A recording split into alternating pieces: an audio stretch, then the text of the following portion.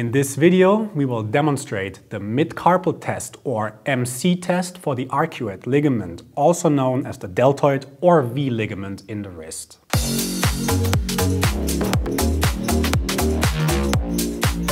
Enroll in our online course now. Link is in the video description. Hi and welcome back to Physio Tutors. Palmar midcarpal instability is characterized by kinematic dysfunction of the proximal carpal row due to damage of the arcuate ligament, also known as deltoid or V ligament. It is referred to as a V as it appears as such on MRI imaging. Granted, it's more of an inverted V, joining the proximal and distal carpal rows. While most commonly the SL ligament and TFCC are affected in wrist ligament injuries, the wrist is a complex region and requires thorough assessment as missed ligament injuries may result in persistent pain, instability and reduced grip force and range of motion and could lead to early onset osteoarthritis.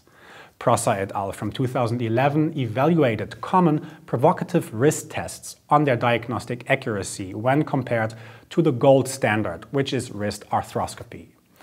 They report a positive likelihood ratio of 2.67, which at most makes a positive test result mildly useful in the diagnosis.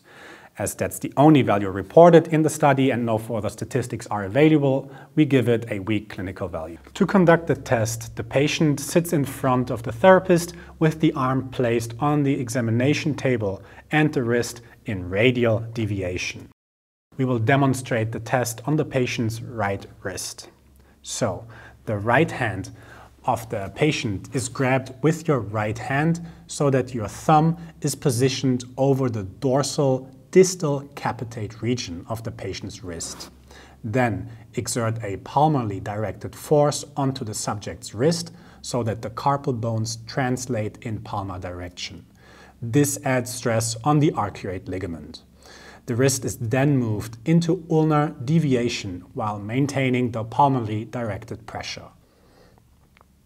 This procedure is repeated in relative supination and pronation. The test is considered positive when the test recreates a painful clunk as the wrist moves from radial to ulnar deviation. Alright, Thank you very much for watching. This test will also find its way into our assessment ebook and mobile app, allowing you to directly access orthopedic assessments at uni or in the clinic.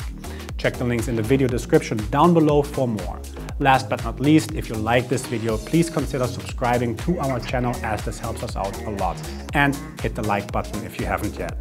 This was Andreas for Physio Tutors. I will see you in another video. Bye.